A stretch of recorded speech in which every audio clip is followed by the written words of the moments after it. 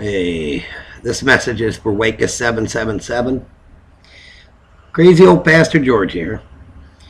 I sent you the text as an immediate prayer request that I didn't have to go to the hospital. I apologize for the double text that got you confused.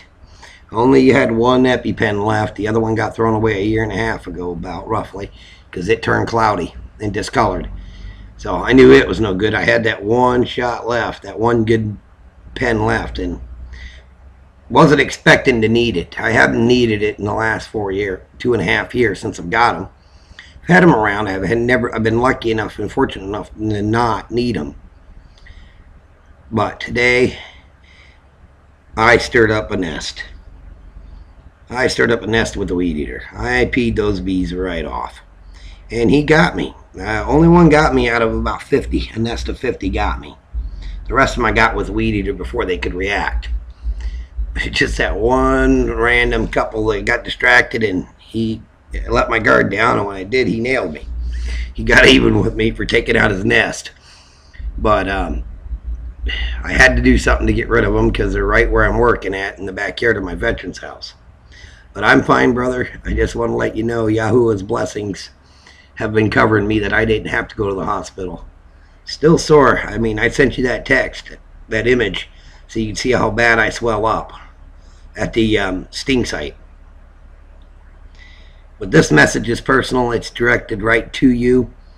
Wakeus, thank you, brother, for your genuine concern. I didn't mean to give you a fright right as you woke up, but and like you said, hydrate, hydrate, hydrate, and rest. I'm trying, but old crazy Pastor George, he don't have much chance to rest anytime. But I just wanted to thank you, brother, and God bless you let you know I am all right and I'm still here. I'm still alive, just a little off, but I'm actually steadier now than I was. I mean, my um, heart rate went from 62 beats to a minute to about 75, 80 beats a minute. When I told, when I texted the wife to get me my epi, bring me my epi pen.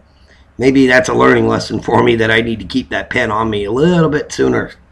Because man, I went from standing up to having to sit down because I started getting short of breath and my heart was racing pretty good.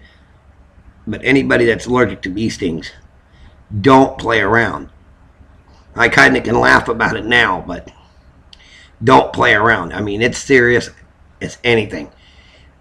You will wind up sick. You will wind up in a hospital if you don't get that pen in you. You will wind up getting sick. I just a message and a warning. Being allergic to bees, sucks. God bless you guys. I just thank you again, Wakeus, for your genuine concern. I just want to let y'all know I'm all right. God bless you.